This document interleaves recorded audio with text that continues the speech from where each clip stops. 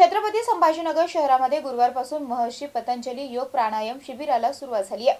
पंडित दीनदयाळ उपाध्याय शिक्षण संस्थेच्या छत्रपती संभाजी विद्यालय येथे या शिबिरास उत्साहात सुरुवात करण्यात आली आहे.